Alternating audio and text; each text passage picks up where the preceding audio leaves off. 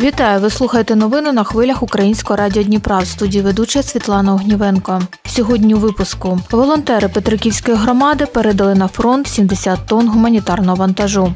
Бджоляр із Сєвєродонецька відновив свою справу на Дніпропетровщині. Збірна команда Кривого Рогу готується до всеукраїнських змагань ігри нескорених. А зараз про ці та інші події більш детально.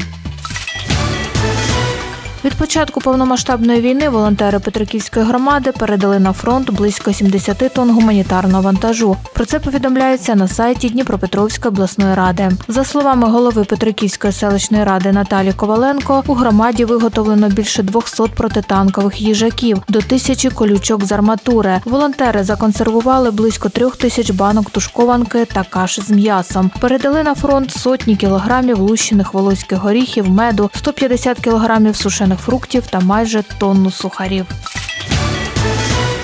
Повідомлення про розміщення у своєму житлі внутрішньопереміщених осіб у квітні 2023 року подали ще 111 жителів Кривого Рогу. Про це сказано на сайті Криворізької міської ради. Також можливістю подати заяву на компенсацію за програми прихисток за березень скористались 2475 криворіжців. Майже 2 тисячі звернулися у квітні. У Покровському районі прийняли 327 заяв, Довгинцівському 269 заяв. Повідомляється на сайті Криворізької міської ради.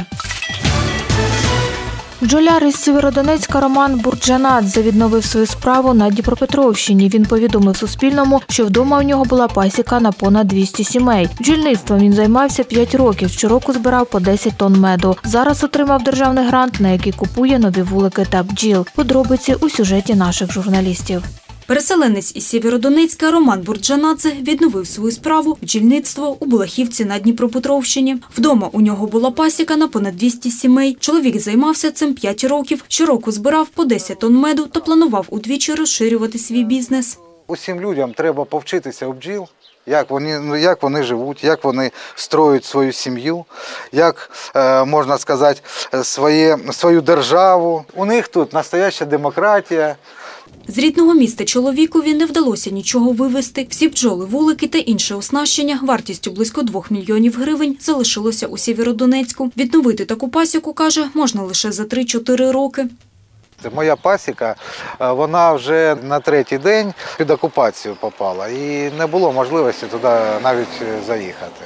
Переїхавши на Дніпропетровщину, Роман подав заявку на державний грант. На отримані кошти купує нові вулики та бджіл. Зараз в мене 30 сімей. Це небагато, але бджолярство це така справа. От бджолопакети, їх е, в маю будемо купляти. Пчолка робить. Е, Ще їй потрібна хороша погода. Роман придбає ще 100 сімей бджіл. Цьогоріч планує зібрати до 5 тонн меду. Разом із ним тут працює ще двоє переселенців. Валентин Бабич займається бджільництвом три роки. Починав на пасіці Романа у Сєвєродонецьку, звідки виїхав у травні минулого року. Ми там у підвалі Ми там у підвалі просиділи півтора місяці, а потім, вже як прилетіло, у п'ятиповерховому будинку пробило стріху. Вже сил не стало, і ми поїхали. Поїхали. Роман також хоче налагодити переробку воску для виготовлення вощини, пластин сотами, в які бджоли складають квітковий пилок та шари меду. Однак для цього йому потрібне приміщення. Чоловік звернувся до сільської ради. Зараз чекає, поки необхідну йому будівлю виставлять на аукціон. По закінченню війни каже, повернеться додому і з собою забере своїх нових бджіл. Розраховує, що у Сєвєродонецьку залишилася хоч частина його пасіки. Без догляду каже, бджолам не вижити. Однак чоловік сподівається, що про них дбають сусіди. Яна Стойкова, Юрій Тинний, Суспільне новини, Дніпропетровщина. Стало відомо про загибель двох бійців з Дніпропетровщини. Про те, що 2 квітня в бою на Донеччині поліг сержант Данило Миронов з Кам'янського, повідомив міський голова Андрій Білоусов. Данило Миронов служив за контрактом, був учасником АТО ООС. З першого дня повномасштабного вторгнення був у війську. Прощання з військовим відбулося сьогодні. Поховали воїна на алеї героїв. 13 березня на Луганщині загинув 51-річний Григорій Усик, житель села Кряжове Гречаноподільської громади. Повідомили в Криворізькій районній військовій адміністрації. За повідомленням, після виконання бойового завдання поблизу села Червонопопівка на Луганщині він вважався зниклим безвісти, але згодом його тіло знайшли. Поховання відбулося 6 квітня в рідному селі бійця. Вічна слава героям.